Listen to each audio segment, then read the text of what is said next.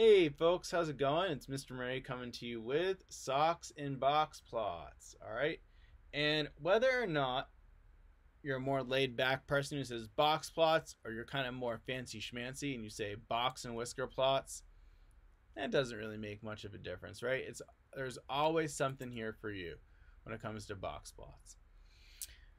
Now, when we do SOCS, just do keep in mind that there's a little there are some caveats when we do SOCS with box plots. And what I mean by that is that box plots are very nice for doing the shape because we can easily see if it's skewed or symmetric and we'll see how. They're good for the outliers because you can see like if once someone looks way out there, it's okay. The center and the spread is where we're going to run into issues because the finding the mean of a box plot is pretty difficult. So if we run into that situation, we're going to have to do some touch and go. Just something to think about, right? How do you find the mean when the only numbers you have are the min, the Q1, the Q2, the Q3, and the max, right? And the Q2 being the median, all right? So here we go. Here's my first box plot. Now what I see in this box plot is I see, again, in any box plot, we have the minimum, the quartile 1, which is more than a quarter of the data, the median, which is the halfway mark, the Q3, which is greater than 3 quarters of the data, and the max. So here I see a couple things. I definitely see an, a skew. I can see the skew right here because this is the data that's way off to the right. This stuff right here. So when you have a box plot, if the box in the middle, good, symmetry. If the box is off to one side, look at which whisker is longer because that whisker is going to be your tail and is going to give you where your skew is. So that's something that's pretty cool about box and whisker, the, the ability to have that really nice visual for the skew. Okay, so here the data are skewed to the right. Outliers, I'm going to argue that there is an outlier that we can definitely identify. There's an outlier of 490. Now, we don't know that it's an outlier, so this I'm going to put in question mark. I would let you say it if there was no other data to really know. Something you might want to keep in mind is that you will see this. So some box and whisker plots actually will end and there'll be a hollow dot out on the right or maybe out on the left. That is actually sometimes um, a symbol for an outlier and the, i think they do that because they're like well it is an outlier but it's not like it's gonna mess up the data so much that we'll, we'll note that it's there but for the purpose of the box and whisker we're not to really inc- include it because it puts too much skew on the data. Um, so it's like a recognition, but kind of like a, you know, thanks, but no thanks. So, all right, center. Now the median is the center, and I can see that the median this is going up by 20, so this is about 170.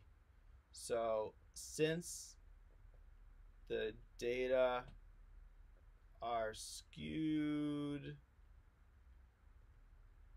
the median of 170 best represents the center of the data. All right, spread.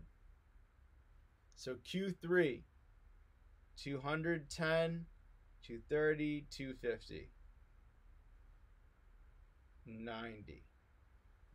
So what that's going to mean, 160. Since the data are skewed, the IQR of, let's clean that up, THE IQR of 160 best represents the spread of the data. Okay? So folks, please make sure you understand what I did there. And then when you're ready, go ahead and I'm going to move on to another example. All right, I'm going to do just this one more example. Um, I don't think I'm going to look at symmetry um, because symmetric data is just going to be really difficult. Um, you know, we can't really find the mean without the original data anyway, so it's kind of like a predicament. So let's take a look at this. So here, this is what I'm talking about. This is a more clear sign. I believe this was intended to be a mark of an outlier. Okay, so first, here we can see that the data the data are skewed to the left. Okay? This is this bigger tail on the left relative to the right. All right. Outliers. So this appears to be an outlier. Now, this appears to be going up by, uh, let's see, now, let's see, one, two, three, four, so five. This appears to be going up by 0.1 as far as I know. Um, so it's about let's say negative 0.9. So there is one outlier, negative 0.9. Okay, center. So we're going to use the median for the center. The median is about 0.4 on a, on a box and whisker. It's easier to see that. The median of 0.4 best represents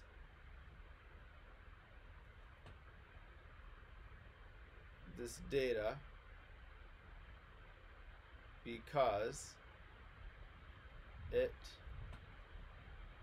because they are skewed. The data are skewed.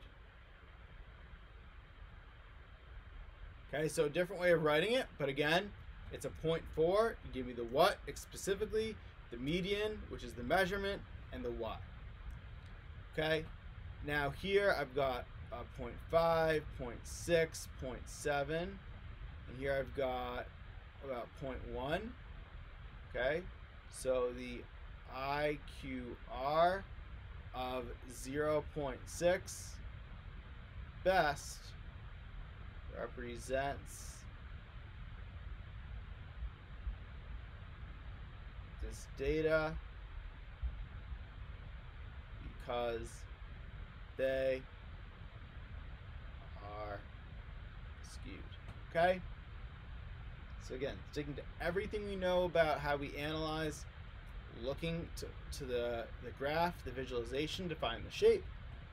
Again, looking to where the tail is.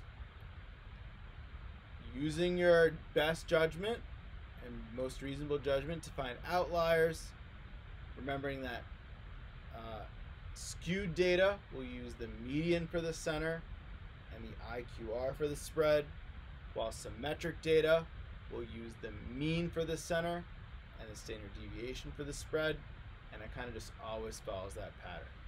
So hopefully you're able to find this video helpful. Thanks much for watching. Uh, please feel free to subscribe so you can see all my newest videos. Don't forget to love math, and remember, you can do it. Until next time, have a wonderful day.